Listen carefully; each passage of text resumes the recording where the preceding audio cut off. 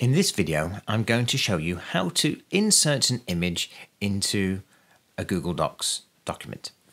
Now, there are many ways that we can do this, and the simplest, I suppose, is just to drag and drop an image from where you might have one. So I've got one here on my desktop, and if I want this picture in my document, I can just click and drag and move it to where I want it in my document. You can see the little blue cursor moving around. That's where the image will go. So let's put it here.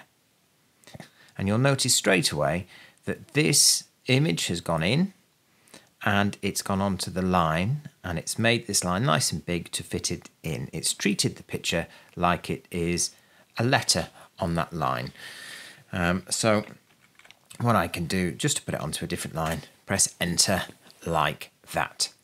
There are other things we can do. We can wrap text, but I've got another video that explains how to do that. Another way we can get an image into our work is just to paste it there.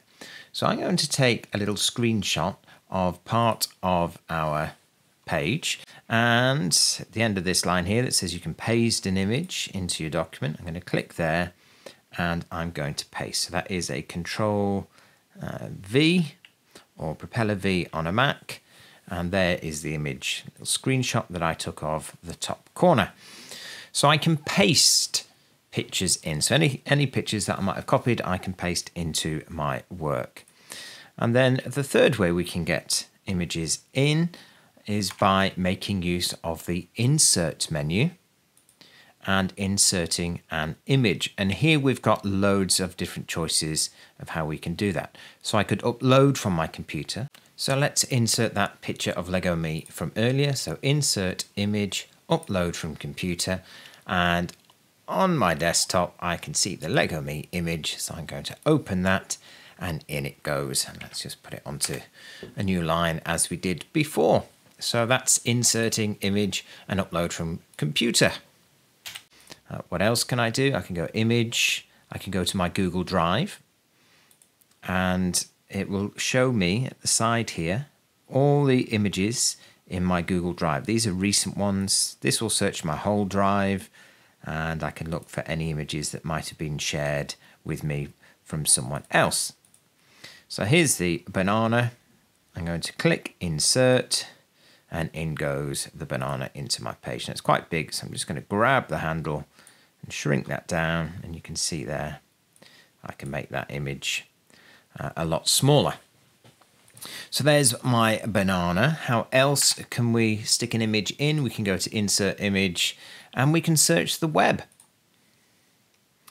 Now this does a Google image search directly in your document and it does one other thing. When it does a Google image search, it only searches for images that the people that have published the image have said other people can use in their documents.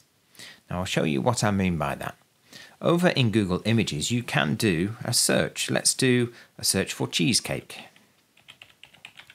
Like that. So these are all images of cheesecakes, but many of these are on copyright uh, websites. So there's Sugar Plum BBC Food, Cooking Classy, and so on. And in the tools for Google Images, you can change your usage rights and you can select images that have been labeled for reuse or labeled for non-commercial use.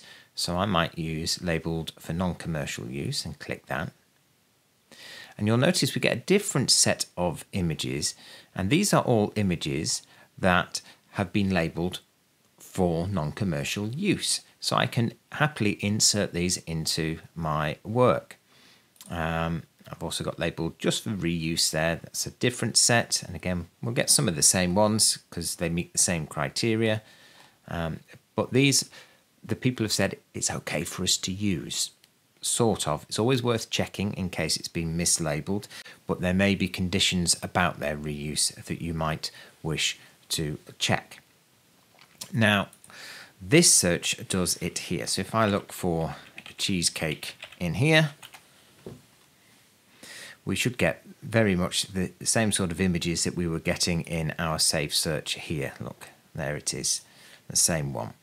So I can select the image, insert it, and in goes the cheesecake image that we found on there. And again, I can resize that just to make it a little bit smaller um, on my page. So that's a nice way of getting um, images. Now, don't forget fair use applies. If you're just using this for your own documents, for your own reading, then it doesn't particularly matter. But if you're going to public uh, publicly publish your images, then you do need to make sure that you do have permission to use any images.